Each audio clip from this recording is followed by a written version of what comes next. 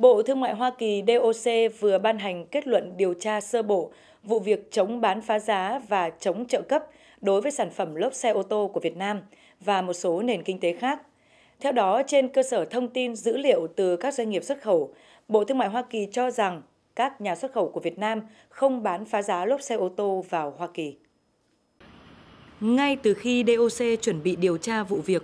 Bộ Công Thương đã thông báo trao đổi với các doanh nghiệp xuất khẩu của Việt Nam, khuyến nghị các doanh nghiệp phối hợp tối đa, tham gia bản trả lời. Kết quả sơ bộ cho thấy việc doanh nghiệp chủ động tham gia đóng vai trò quan trọng trong việc ứng phó với vụ việc. Các doanh nghiệp được hưởng thuế chống bán phá giá thấp trong kết luận sơ bộ là các doanh nghiệp tích cực tham gia trả lời, phối hợp với DOC trong việc cung cấp thông tin. Cũng liên quan đến nội dung tiền tệ, trong báo cáo mới đây của Cơ quan Đại diện Thương mại Hoa Kỳ USTR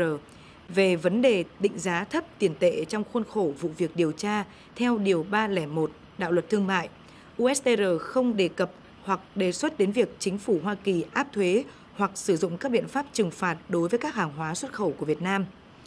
Đây là kết quả rất tích cực, phản ánh quá trình đấu tranh lâu dài, toàn diện, thể hiện vai trò chủ động của các cơ quan chủ trì, đầu mối xử lý như Bộ Công Thương, Ngân hàng Nhà nước và các bộ ngành địa phương liên quan.